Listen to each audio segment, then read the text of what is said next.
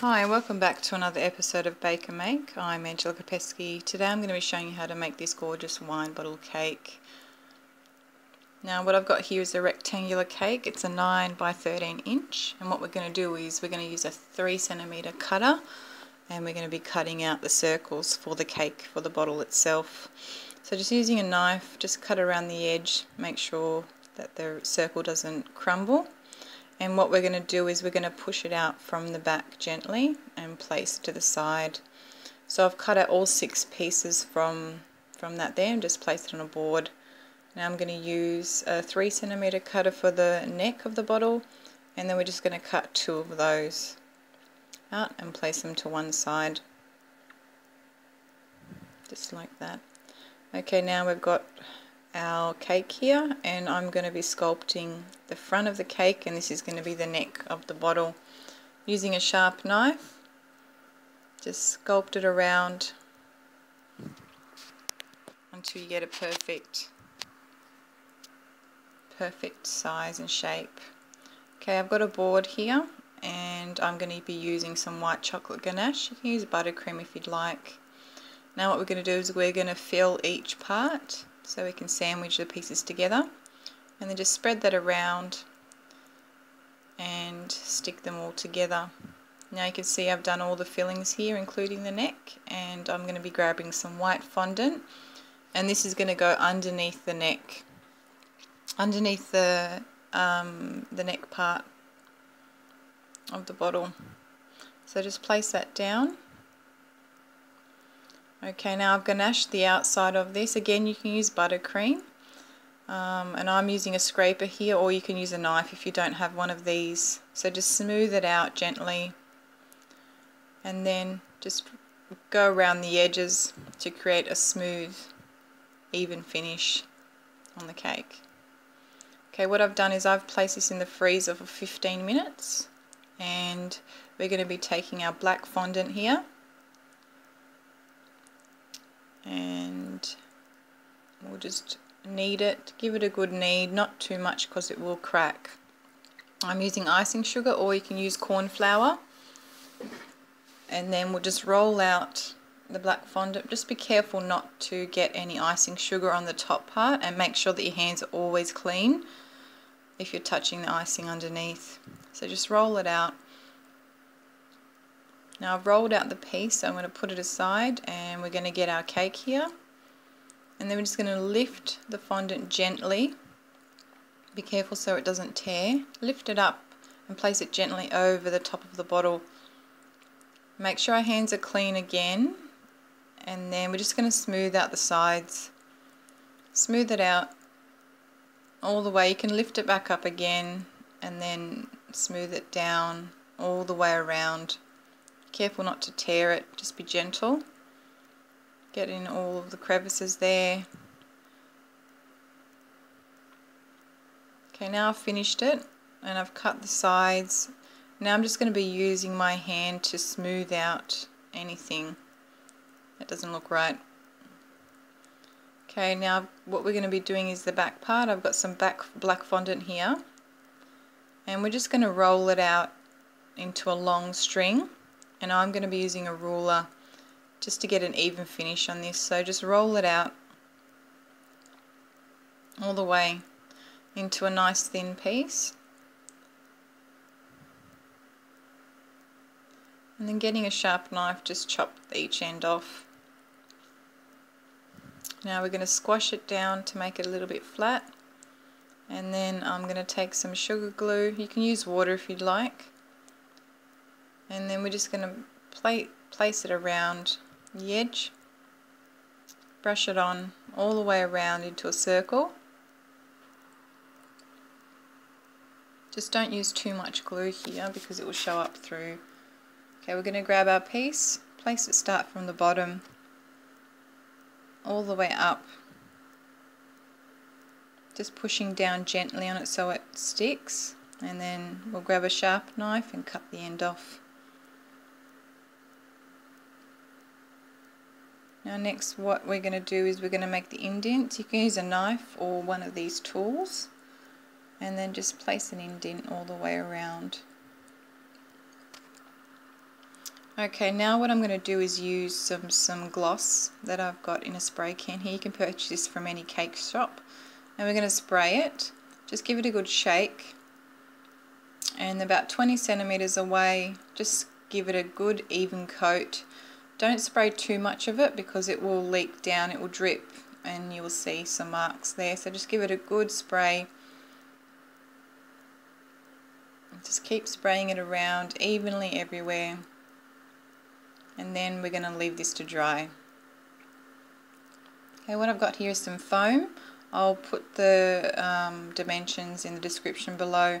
I've cut it on an angle so we're going to grab some sugar glue and we're just going to brush it all the way around so we can stick our fondant on this foam. Okay, I've coloured some red fondant here with black to give it um, a dark red colour. Just using our icing sugar. We're going to roll this out into a nice long piece enough to go around the foam again lifting it up making sure that it doesn't stick and that your hands are clean so we don't get any icing sugar on the top. So just keep rolling it out lifting it up rolling it out and we'll lift it up again there until we get the required length. And then I'm just going to go a pizza cutter here and we're going to chop the sides off and place that away. Okay, with the pizza cutter we're going to slice it down to a nice straight line and place it over to one side. We'll grab our foam here and what we're going to do is we're going to cover the side of this foam.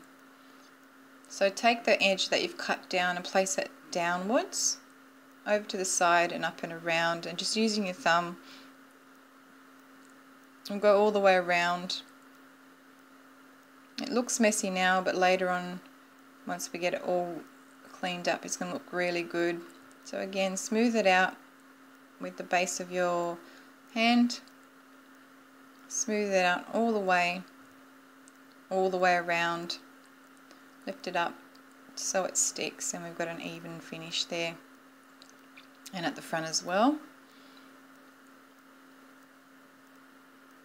just slowly. You need a lot of patience for this, so I'm just using a pizza cutter there. Just cut that part there. And all the way around the sides.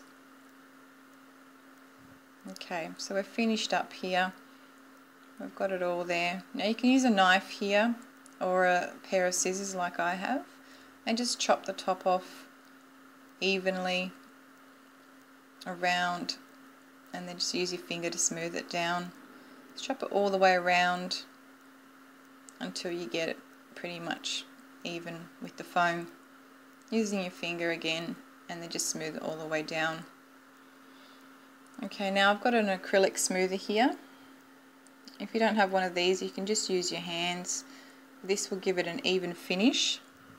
So just press down firmly hold the top of the foam as well so it doesn't move anywhere and then just smooth it around all the way around on each side make sure that there are no air bubbles there just smooth it around at the back as well and on each side okay what I've done here is I've just got some little numbers confetti numbers which you can buy from any party shop or the $2 store. And just using some glue, I just put some on the back and then just stick it on the side. Okay, what I've got here is I've covered a board. It's a 15 inch board in black fondant. And then I've just put ribbon around the side. If you don't have um, this, this size board, you can use any size. And you don't have to cover the board, but it does give it a good finish. So what we're going to use here is I've got royal icing here. You can make this yourself or buy it already made um, in, in a powder form. Just add some water and mix it around. So we're going to use this to stick the foam to the board. I've got a knife, so we're just going to take the spoon and I guess dollop a little bit in the center. It's going to go on an angle, so just position it somewhere on an angle in the back corner and then so we can place that down there so we just dollop it down put a generous amount that way it's going to stick and your cake's not going to go anywhere. Now using your knife just spread it out in the same size. Obviously don't go over because then you'll be able to see the royal icing. So just spread it evenly down through there. So it's all straight okay what we're going to do now is we're going to grab our foam and place it on the board. Now so make sure you don't damage the foam. I'm using a knife to lift it up. And then try not to touch the fondant on the outside. Pick it up and place it down on the back section. And then position it in a straight line. You can move it around here if you feel like it's not in the, in the right section and then just push it down and we're going to leave it to dry there until that royal icing sets. So that way the cake's not going to go anywhere. It's going to be held on quite tight.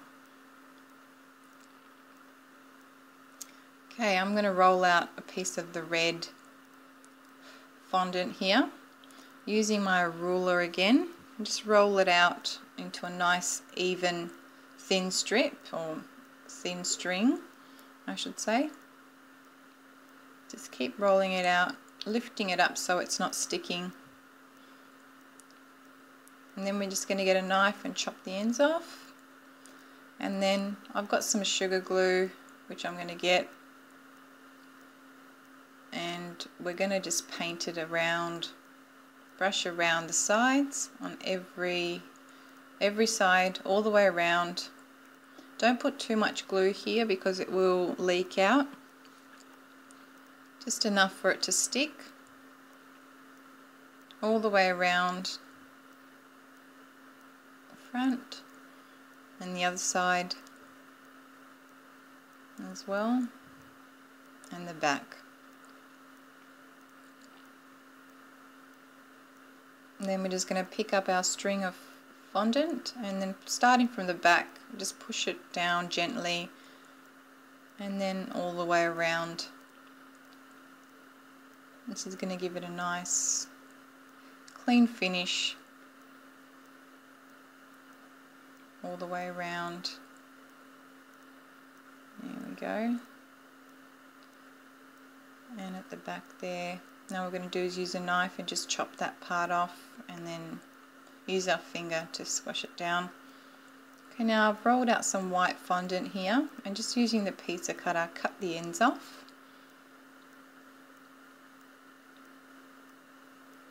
And then we're going to get our bottle and we're going to be covering that part of the board there. Don't worry about the spray that's on the board. You won't be able to see that. So we'll get our white fondant and then just cut it down the centre. Place it to one side. Now just measure it enough so that you've got enough there. Using our sugar glue, we're just going to glue, place the glue down onto the board on the sides as well and a little bit at the front there and the back and pick up our one side of our fondant and just place it down. Make sure it's all the way to the edge there. You can use your fingers if you've um, if it's not close enough. Then just lift it up and push it in here where that neck part is. And then just smooth it down so it's all smooth. Make sure you've got no holes there. Just like that and then just use the side of our hand to make a crease mark there. And then I'm just using a scalpel here or a blade and then we're just going to cut the side off.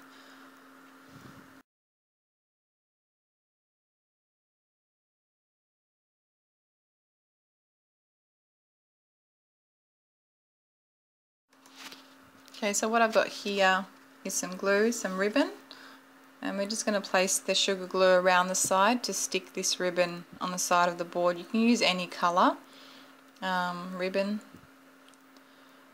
And then just starting from the back, we're going to stick it down from the centre and then just using our finger all the way around so it glues on nice and straight and all around the other side until you get to the back and just squash it down there and there you have it. Okay now I've got some red fondant here and I've rolled it out into a long strip and this is going to be for the neck of our bottle. Just cut it down enough to fit that section there. And just slice it down the side in a straight, straight angle. And the other side as well.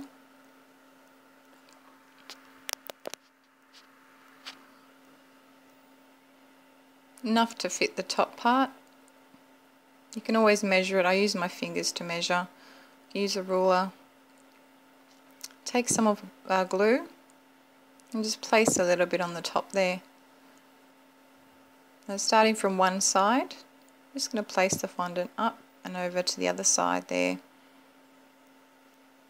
Just using a knife, you can just cut it down the side or the pizza cutter. So I've got some white fondant here and that's going to go underneath there.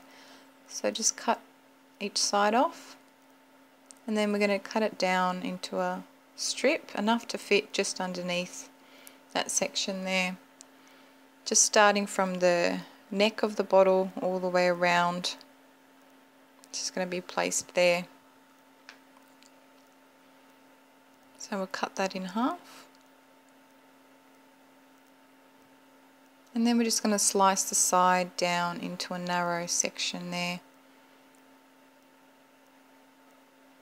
just like that. And then get some more of our glue. I'm going to start from there to the end and just place some glue down. And then I'm going to put the white fondant there. Place it down gently, pushing it down with your finger. And then just using a knife, and cut the end off there. And do that around each side. Okay, so what we're going to do now is we're going to take some royal icing and we're going to place it on the top of the foam to stick that board with the bottle on there. That way it's secure. So just using your knife, give it a generous amount and spread it all the way around. Try not to go too much to the edge because once you put the board on, this icing might leak out, the royal icing. So just place enough through the section everywhere. And then we're going to take our board using a knife just lift it up. And then we're just going to position it on the foam. And then push it down enough just to touch that front of that board. Don't push it too much because then the neck will break okay so we've got it there now I've coloured some red royal icing just with red food colouring and this is going to be our red wine coming out of the front of the bottle. I've got some numbers there as well. So just grab your knife and we start from there and we're just going to sandwich or squash some on there. Place the royal icing on the front of the bottle and we'll keep doing that until we get enough like a pouring effect of this red wine coming out of the bottle. just grab a bit more and place it down that section. It's going to cover that section there. It doesn't need to be too neat. So you can put as much or as little as you want here. Now we're going to take our numbers and what we're going to do is we're just going to place it on top of that wet royal icing. And once it dries obviously they'll be stuck on there. So just place them down all the way over all on top of the royal icing. Okay so now we've got it here and I've used some these the cutters you can buy them from any cake shop. And I've just cut out some letters here and stuck them on the board. So now I've got some red fondant here. And we just roll that we'll knead it into a nice round ball. And this is going to be for the lid. So just roll it and then squash it down. Make it into a nice round section. Grab some glue. And we'll just place it down there and push it down so it sticks. Now what I've done here is I've got an edible image for the label. Um, you can get this at any cake cake store. Just take the image that you want them to print and they'll print it for you. So what I've done is I've cut around the label and then I'm just going to take it off, peel it off very gently so it doesn't rip off from the backing sheet and then turn it around and then place a little bit of sugar glue. You can use water as well. Place a little bit on the back, not too much. And then turn this around and then place it in the center of the bottle. And using our fingers gently push it down so it's, it's laying on the bottle evenly. And there we have it. Our beautiful 3D wine bottle cake. It's absolutely gorgeous. And as you can see, it's not that hard to make.